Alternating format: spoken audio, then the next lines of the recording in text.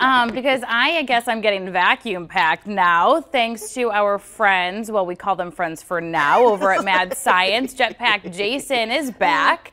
How did I get picked for this? I don't remember know. picking straws. I don't, I don't, I don't know either. But don't Okay. worry, it'll be a lot of fun. And, uh, Okay. you know, it's time to feel the pressure, I guess, right? All right, whatever you say. I'll hand those to you. Just keep your eyes safe Okay. For whatever reason. All right. He said in case the vacuum it explodes. I mean, That's you what he know, I mean, just in case. Yeah, you I've never know. seen one Who happen. knows? But, you know. Okay. All right, so what we're going to do is we're going to use all of this air pressure all around us Okay. to let you feel how much pressure there really is. All right, so don't worry, there's not a whole lot to it. This you might not try at home with your kids, by the way. I mean, something about putting your kids in a plastic bag doesn't sound fun. okay. All well, right. you never know. I mean, you could. Okay. All right, hold your breath. Oh! No, I'm kidding. I'm kidding. All Okay. right, how do you feel? Um, Like you're getting a haircut, right? I feel like a grocery bag. I feel like a vegetable. Okay. All right, I like to joke around a lot. There's a chair right behind you. I won't pull it out from under here. anymore. Okay, wait, Sit straight back. There you go. Sit back, get comfortable. There you go. All right.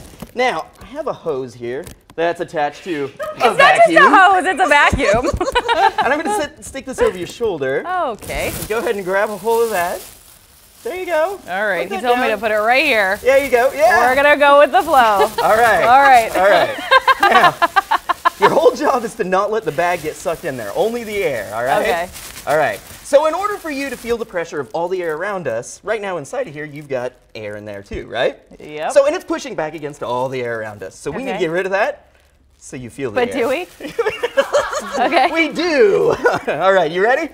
Hold I your mean, breath. yes. Don't really hold your breath. Here we go. One, two, three. Wait the bag! Move your fingers, move your fingers. There we go. Woo! We're getting there. And there. How do you feel? now, I got a question for you. I'm gonna leave the vacuum on. Can you touch your nose? Jason, we just went over flattering poses, and this is not one of them. Let the air back in. All right, that's the air. Oh my gosh.